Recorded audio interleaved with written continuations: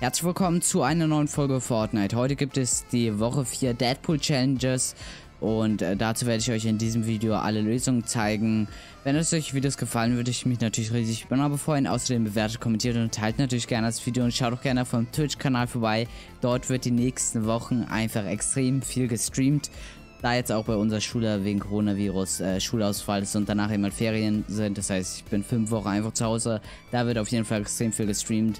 Wenn ihr das nicht verpassen wollt, lasst natürlich gerne ein äh, Follow auf Twitch da.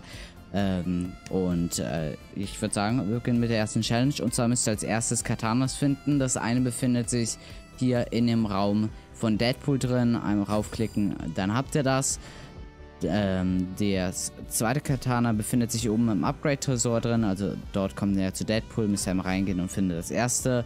Das zweite befindet sich dann hier im Upgrade-Tresor neben der Spitzhacke oder neben der Axt hier auf der linken Seite. Dann habt ihr das. Und dann müsst ihr natürlich noch wie jede Woche die zweite Challenge machen.